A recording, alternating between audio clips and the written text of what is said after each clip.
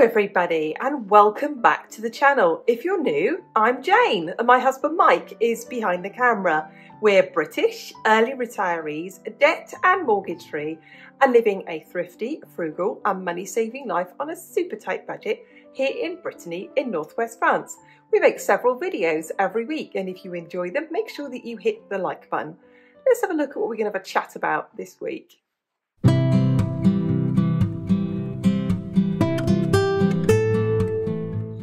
This week's midweek money chat is all about those irregular expenses that, let's face it, any of us can easily forget to budget. Now, I know some of you watching this, you'll be old hands at budgeting, and some of you will be new at it. And as you get better at budgeting and you get used to having sinking funds or savings pots or whatever you like to call them, you will build savings for all the things that we're going to mention today. But if you're in the early stages or budgeting something that is not so easy for you, these are some suggestions of things that you can think of. Let's get started.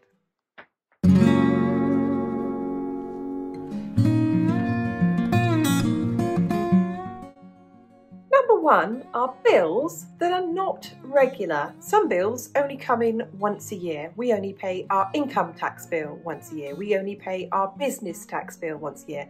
Our taxe foncière, our property tax once a year. We pay our water bill twice a year. But you may have other bills in there that are not regular, that only pop up once a year. Subscriptions may be one of them, or anything that you need to pay for on an irregular basis. So there's that, number one, irregular bills.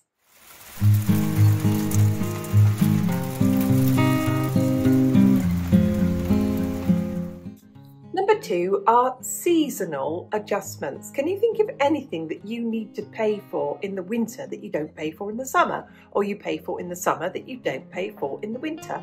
An example from us is that we have lots of grass to cut, and we have to pay for fuel for machinery to cut that. You may have a lawn service. You may not be able to do it yourself. You may not have the time or the health to do it. So, are there things that you pay for in one season that you don't pay for in another season that actually you might need to put in your budget and save for all year long?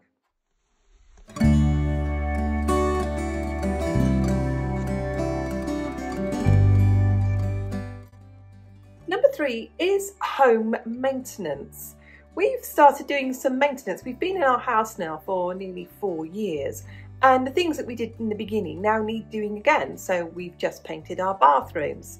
This year we're going to paint our living room again and that's an expense. And we, we have a sinking fund for DIY that we can take that money out of for that budget. But do you have something like that? Are there things that you need to pay for to maintain your house? Another something that we have to pay for is we have to pay for a chimney sweep once a year. Maybe you need to pay for some maintenance. Maybe it may be something like central heating servicing once a year or air cooling system servicing once a year. But these things can crop up and if we don't have a budget for them, what budget are we going to take them take the monies from?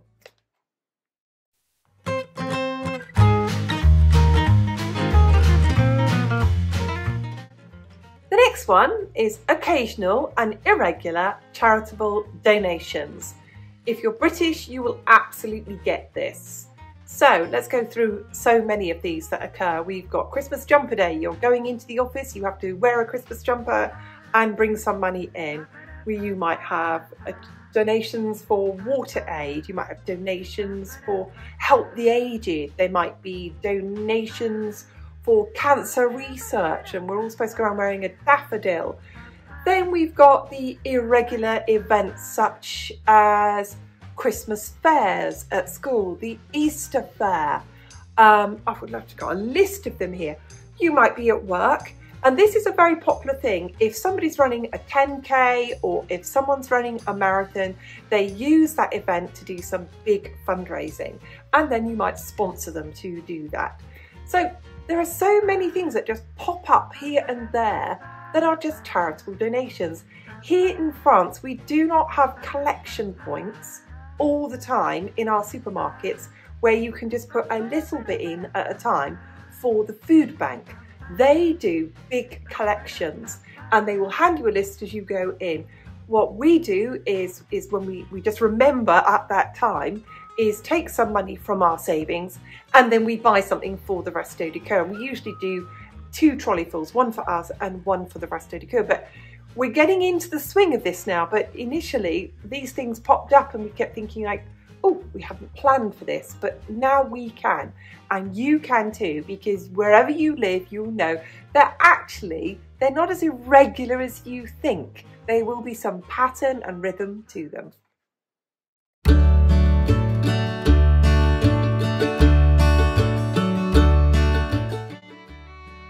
One is personal care.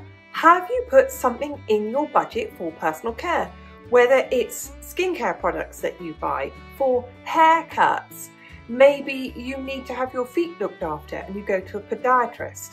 Maybe you have some kind of counselling or talking therapy that you have to pay for out of pocket. Anything like physiotherapy, most of those things are an out of pocket expense. And they may be very, very irregular, but they can pop up. And we all need to know that somewhere we need to put a little bit of money aside, even if it's just for a haircut every three or four months. We do need to have something in our budget somewhere for personal care.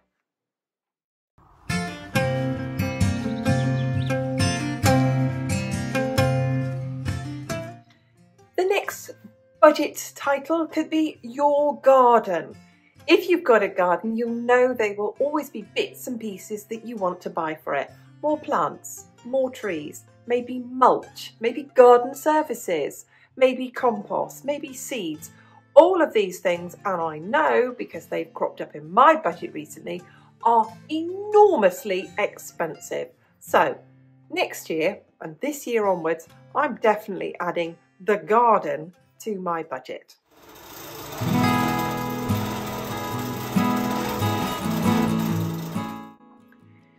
Another irregular expense that people could easily overlook and not add to their budget could be the cost of their hobbies.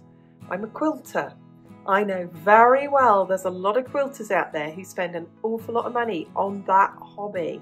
So if that is you, if you are someone who has a hobby that costs money, it needs to be aligned on your budget somewhere or it needs to be a sinking fund.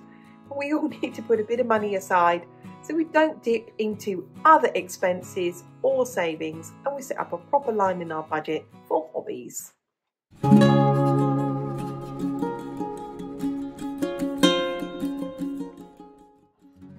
It's really easy to overlook home items that are going to need replacing. Nothing in our house is immortal if our hairdryer breaks down and we have to go to work with wet hair, that's an annoying thing, isn't it? If the coffee machine breaks down, you can't make yourself a coffee. The washing machine breaks down and you haven't got any money set aside for it. So you end up going to the laundrette for six months until you save up for a new washing machine. All of those things are a real inconvenience and we can so easily overlook them. So let's make sure that we've got a line in our budget or in our savings funds for replacing home items. The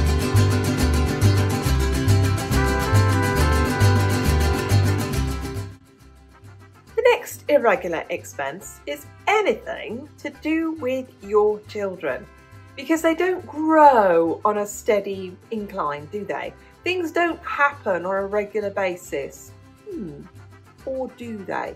So these are the many things that people might not plan for if they have children or get caught out by, and I've got a big list here.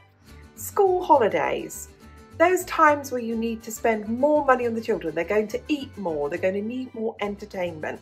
These things people seem to be unprepared for. Some, not all. They grow in the middle of the year. So people prepare for school uniform for September but forget the fact that they're going to grow out of it by January and it's something that needs to be an ongoing expense and you need to budget for it. They're going to need PE kits, they're going to need shoes, they're going to need equipment for school, stationery, books, all of those things for school. Then all of those charitable donations that pop up in the school calendar. I'm looking at my list here and of course all of those extracurricular activities and as well if you have children they will be invited to birthday parties. You're going to need something very small in your budget somewhere for those little presents that the children are going to take with them. And it always surprises me the things that you can forget when you're a parent and are things that we did forget when our children were young and they do pop up and you do need a budget for it or it can really trip you up.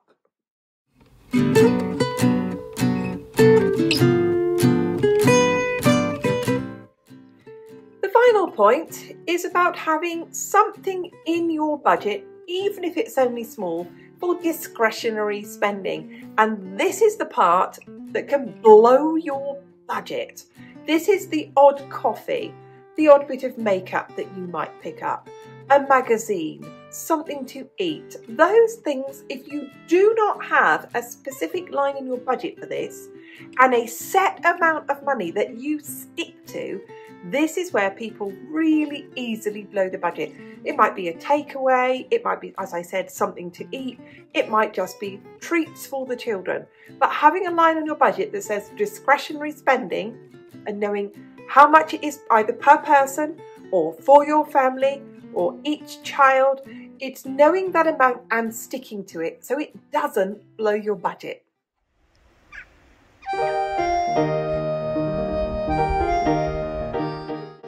Thanks so much for watching. Thank you for hitting the like button. Thanks for all your comments and we read every single one of them.